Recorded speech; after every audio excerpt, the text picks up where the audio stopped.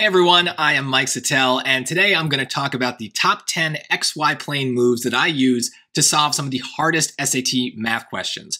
And before we get into it, I do need to answer, I think, two questions preliminarily. Uh, what uh, what do I mean by XY plane, and what do I mean by move? So first of all, the XY plane category of questions is my own. It is not something that the College Board uses. They would classify a lot of these questions as either algebra or advanced math, but I think that those are too vague and confusing, and so I use this XY plane category instead. And basically, these are questions that involve some of the traditional stuff that you work with in school all the time lines, quadratics, exponentials, other equations like circles.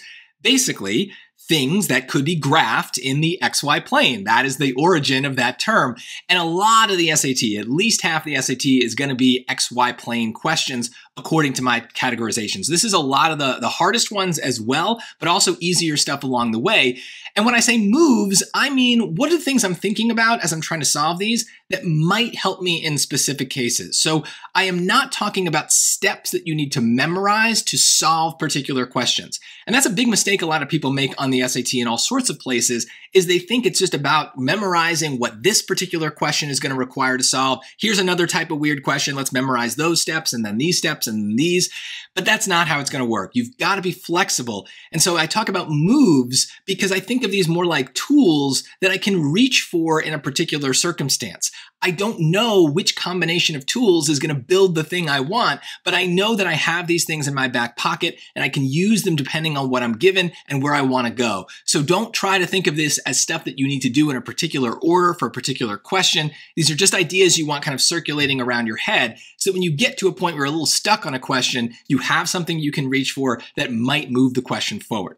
So let's take a look and we'll start with a very obvious number 10 here. Uh, if you have an XY plane question, graph whatever you have in the XY plane, specifically graph it in Desmos. And this is something that a lot of people don't do, mostly because in school you are not allowed to do this. You need to solve things the more textbook way by hand on scratch paper, but you don't get extra points for that on the SAT. So just do it whatever's easiest. And if you can see it in a graph, that is probably better for you anyway. Three things to remember about Desmos. Number one, the y equals format for an equation is not necessary. On a lot of handheld graphing calculators, we need to have everything in y equals format, so you might need to rearrange an equation that is not necessary on the SAT for Desmos, so just put it in as given and it'll still graph for you. Similarly, if we have function notation, it might be better to keep it in that format, to use f of x, to use g of x. It also allows us to change that equation if we need to, to translate it up or down, left or right, things like that. So that can be really useful in Desmos as well. And finally, just remember that it, the whole reason we can graph things in the xy plane is that we have xy coordinates. Now, if you get a question where they give you equations, but they're using different letters like a and b or j and k, just switch them to X's and Y's and suddenly you can graph it in Desmos. So these are little tweaks or little things that are important to remember about how Desmos works. I definitely recommend you watch my lesson on Desmos in order to understand these things even better.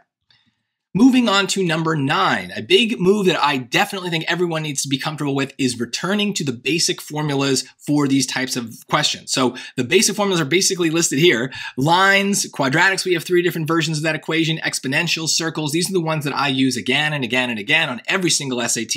I have lessons that go into the specifics of what each of these equations mean. Watch those. I'm not going to get into it here, but I will say that uh, SAT questions are going to handle these in two different ways. One is they might just give you an equation of, let's say, a circle and expect you to interpret it and know how to pull out the center, pull out the radius, and work with those things.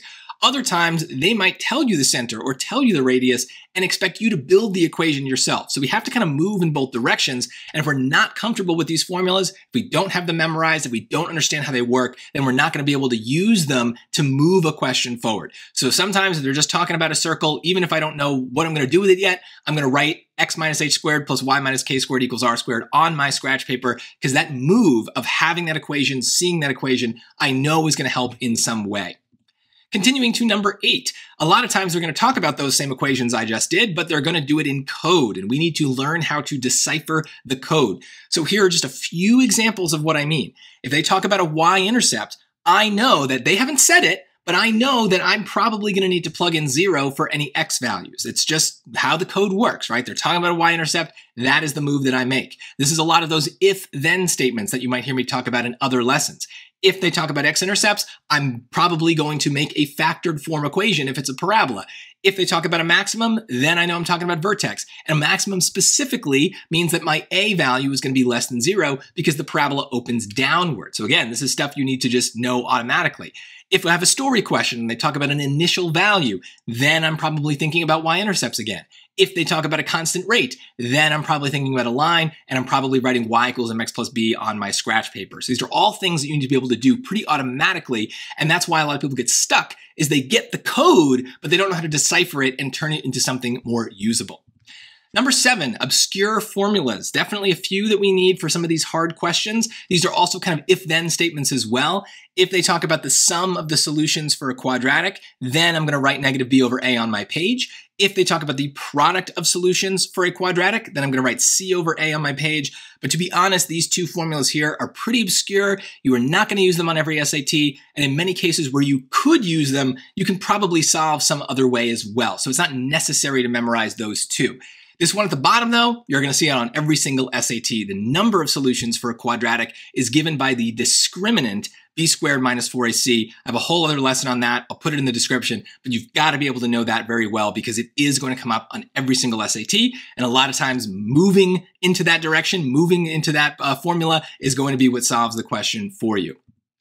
Number six, this is a formula though that is not obscure and is essential for pretty much every SAT. I use it all the time. The vertex of a parabola. If they start talking about that, you probably want to use h equals negative b over 2a. Write it on your page. Here's how it works. The h is the x coordinate of the vertex. You might have learned this formula as x equals negative b over 2a, but that's kind of confusing. That's the axis of symmetry formula that gives us the line that cuts a parabola in half. I don't care so much about that line. I do care though about the x coordinate of the vertex because a lot of times they just give me the vertex, so important to know. The A and B are going to come from the standard form of a quadratic. And also, kind of related to this is the idea that a vertex is the average of the x-intercepts. So this particular formula helps me move between the vertex form and the standard form. But the uh, piece at the bottom here helps me move between the vertex form and maybe the factored form, the root form of a quadratic. And moving between these equations is really important for a lot of those hard ones. So I really love this formula. I use it a lot. The SAT loves the vertex for some reason. This is a great formula because it is simple. So let me show you an example of that while I talk about number five here. A great move, not just for XY plane questions, but for algebra questions in general, is to reduce the number of variables. A lot of these questions are hard because they have lots of letters. Get rid of them, get rid of them and get down to fewer. So in this particular case, I took just a single sentence that you might see in one of these. Uh, it is not a full question because I don't want to solve a full question. But if it said something like a parabola with a minimum at x equals 4 has equation y equals ax squared plus bx plus c, there are a few things that I would know to do kind of right away. First of all, going back to what I said about deciphering the code, if they say that it has a minimum at x equals 4, that is talking about the vertex. So h is equal to 4. Now I know that I have that formula, h is equal to negative b over 2a, so I'm going to plug that into that formula for the sake of just getting rid of variables, right? It starts with three, three letters. Let's now have two, right? Just b and a. And then another just reliable move is since we want to reduce the number of letters, getting one letter in terms of the others is really helpful. So in this case, I would multiply both sides by negative 2a to get b alone. And then b being negative 8a, it's a little simpler to think about. It's a good move. I don't know why it's going to help, but one thing I could do with it is pop it into that standard form. And suddenly, I know it maybe doesn't look simpler, but it is, right? Because before I had three unknown constants, a, b, and c. Now I just have two, the A and the C, right? That's fewer. And maybe there's some other piece of information in this question that allows me to get rid of the C. So I'm just moving things along. And especially since they also told us in code that this is a minimum, they're telling me that the A value is greater than zero, is positive, because it's a parabola that opens upward. And now maybe again, there's something else I can do. I can plug in some points and try to figure out the relationship between A and C who knows? It depends on the specifics of the question. Again, I don't want you to memorize these specific steps. That is not the point. The idea is that these are moves that I would be making very naturally because they probably move the question in the right direction, reducing the number of variables, working with simple letters and simple equations, and deciphering the code to get more numbers, more understanding of what's going on in a particular situation. Number four is very similar to number five. Make familiar algebra moves, right? So the XY plane is a kind of question that involves the graph in some way, but algebra doesn't need to, but we still have a lot of algebra to do in these questions. So these are things that you should naturally be doing whenever you have to solve algebra equations. A great example of this would be if you have a fraction, your instinct should really be to multiply to in some way kill off that fraction. This is useful here as well. How is it going to help? I don't know. Depends on the circumstances. But I'm probably going to do it if I've got nothing else to do because it's a reliable move. I don't need to know the end point to just kind of do this particular move. I just know that it's going to move things in the right direction. Similarly, since we're dealing with a lot of quadratic equations, foiling and factoring, good moves. They kind of move things in, in the right direction, even in places where it might not seem that way. Here, I have a vertex form where I'm missing the k. If I were stuck, one thing I could do is I could FOIL the x minus 4, I could expand that and turn this into a version of the standard form. And you can see it's, it's still kind of messy, but maybe now I understand something that I didn't before. And, you know, maybe now I understand the B term, the B value, or maybe that C is 48 plus K somehow matters. I don't know. It depends on the circumstances. But by doing that familiar move of foiling and expanding, I can move the question forward and see it from another perspective. I don't need to know why that move is going to help to just do it and see what happens. That's a really important part of this strategy is just trying stuff is sometimes worthwhile. Uh, similarly, we kind of just talked about this. If you can substitute and reduce the number of variables, that's going to move things forward. It's a great algebra move as well. And finally, if we can get down to one variable, then probably that means we can solve for whatever that variable is, solve for x and get a final number. That's that's really important for algebra as well. So we want to always get down to that kind of situation if we can so that we can solve and get our answer. But these are things that we would do on a lot of algebra questions that are hard, and they're also going to show up on these XY plane questions as well. Number three, okay, so this one I'm to talk about very briefly. Basically, just know how to do regressions in Desmos. I have a lesson on that. I will not get into it here, but this is generally what it looks like now in Desmos. You have a table of points, and Desmos is to spit out an equation that matches those points. And a lot of SAT math questions in the XY plane are really just about that. Here's some points, build the equation that matches them. So knowing how to do that very, very important. And there's lots of ways that we can do that in Desmos, but um, it's very helpful. It does come up usually about once per SAT. I use this feature. You do not need to use this feature to solve those questions, but it certainly makes it easier. So good to know how to do. Number two, okay, so this one is very underrated. Understand the properties and use the properties of zeros, ones, and negatives. These are important numbers because they have special properties. So just to kind of cover a few of them, since a lot of hard questions hinge on these properties, remember that zero is special because you cannot divide by zero. So if you have a fraction, maybe think about what would happen if there was a zero in that denominator. What would cause that? That might move the question forward in some way. Similarly, if we have a quadratic, the entire reason we factor is to take advantage of the properties of zero, and we set those factored parentheses terms equal to zero. So that's just fundamental to how these questions work. Now, the number one is important because it really has no effect on things, right? And that might be helpful because holding one part of a question constant might help us understand another part somewhere else. So kind of like an experimental control in a variable in that way. So remember, if we multiply by one, doesn't change anything. It still stays that same number. If we have an exponent of one, again, it doesn't change the number. And even if one is the base and then we have different exponents on that one, then it's always equal to one. So these are things that are important to know uh, and can helpfully move the question along. Negatives in particular are very important because if we have a radical in a question, it might be important for us to remember that you cannot take the square root of a negative number. So that might limit us in some way as to what our answers can be. Similarly, when negative numbers get squared, they become positive. So again, that might limit us in some way. It depends on the question, but no question is ever going to tell you, hey, nudge, nudge, wink, wink, think about the properties of zero think about the properties of negatives it's going to be us to up to us to understand that that might be part of how a hard question is built and a lot of people complain about the questions involving constants on the SAT. I think a big reason why is they never think to plug things into those constants. And zeros and ones and negatives have very particular ways that they're going to affect an equation and a constant. So a lot of times we're going to pick numbers and put them in. And that brings us to number one in the list here. This is no surprise if you've watched any of my other lessons. Number one move is plug points into equations. Sometimes those points are zeros and ones, other times they're points that they give me in the question. It depends. But this is the last thing we're talking about, but it is the first thing I think about every single time I get a math question, whether it's an XY plane question or not. If I have points, if I have equations, I'm plugging them in. And since XY plane questions a lot of the time are just giving me an equation, I really want to have points to plug in. So some things to remember to help us with this. Number one, function notation is just another way of talking about points and equations. So if they tell me that f of 4 equals 9, I need to instantly know that that is the point 4, 9, which I could plug into the equation, plug into Desmos, whatever it may be.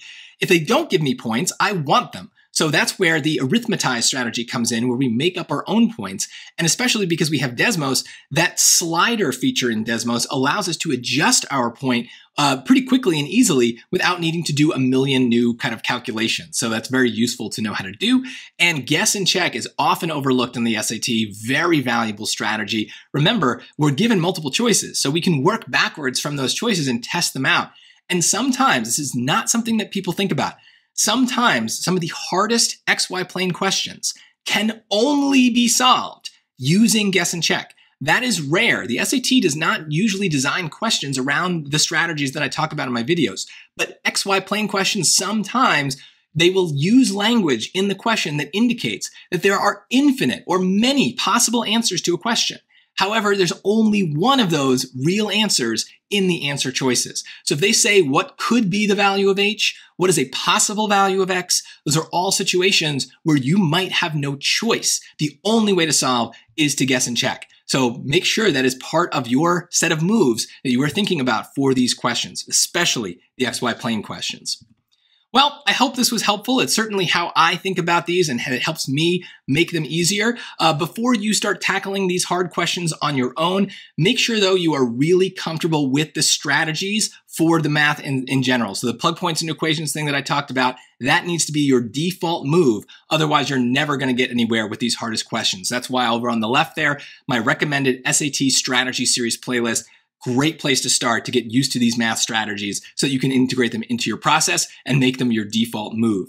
Now, if you are ready to practice some of these hard questions, become a channel member. I have a playlist that I will link to in the description. That is what I call the quadratic twists questions. That's a lot of these hard XY plane ones, specifically involving quadratics. It is a great place to see me use a lot of these moves that I've talked about and for you yourself to try them out. So give that a shot and then you can see how well you uh, uh can accomplish bringing these things in and using them quickly. But remember, these are not steps in a process that we're trying to memorize. These are just things that we're able to reach for depending on the circumstances.